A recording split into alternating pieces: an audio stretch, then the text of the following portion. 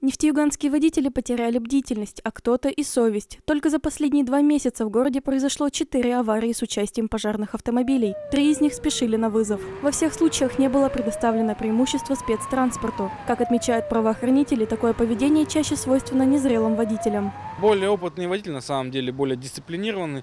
Молодое поколение, начинающие водители, да, не пропускают, аргументируют тем спешка спешка, хотели успеть, не видел, да, и тем не менее, как бы, случаются дорожно-транспортные происшествия, ну, по вине водителей более неопытных.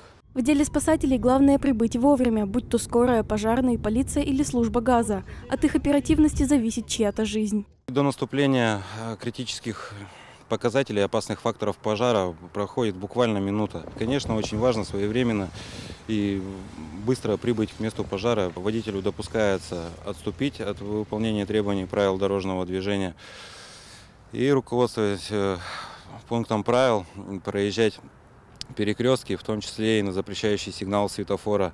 Однако при совершении дорожно-транспортного происшествия это происходит затяжка по времени. То есть к месту вызова необходимо ввести в боевой расчет технику, которая стоит в резерве. Время 3 часа дня. Дороги должны быть относительно разгружены.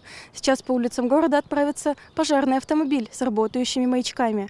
Те автомобили, что не уступят дорогу, будут остановлены сотрудниками ГАИ, и к ним будут применены административные меры наказания. Пожарные автомобили сопровождали несколько экипажей. Путь был построен по наиболее частым маршрутам спасателей. Практически сразу между шестым и седьмым микрорайонами сотрудники полиции остановили двух водителей. Право принимаем, останавливаемся, говорю. Мужчина пытался оправдаться, что прижался к обочине, но при этом он выехал с прилегающей территории, не пропустив спецтранспорт.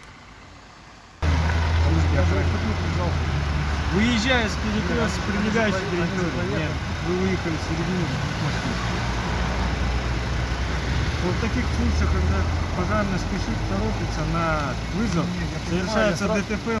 Вот еще один нефтеюганец выехал с прилегающей территории, хотя из гражданских побуждений мог подождать полминуты, пока проедет МЧС. После водитель прижался к обочине, но первый маневр иногда вынуждает спецтранспорт выехать навстречу, создавая аварийные ситуации. Радует, что большинство нефтеюганцев все-таки уступают дорогу, останавливают автомобили, освобождая путь.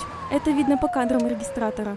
Цель рейда была на то и направлен повысить э, бдительность участников дорожного движения, призвать их прогнозировать обстановку при организации движения, учитывать при этом состояние дорожного полотна, каких-то искусственных преграждений. По итогам рейда за два часа автоинспекторы остановили четырех нарушителей. На каждого из них составили протоколы. Штраф в таких случаях немалый, от 3 до 5 тысяч рублей, а при повторном нарушении могут и прав лишить.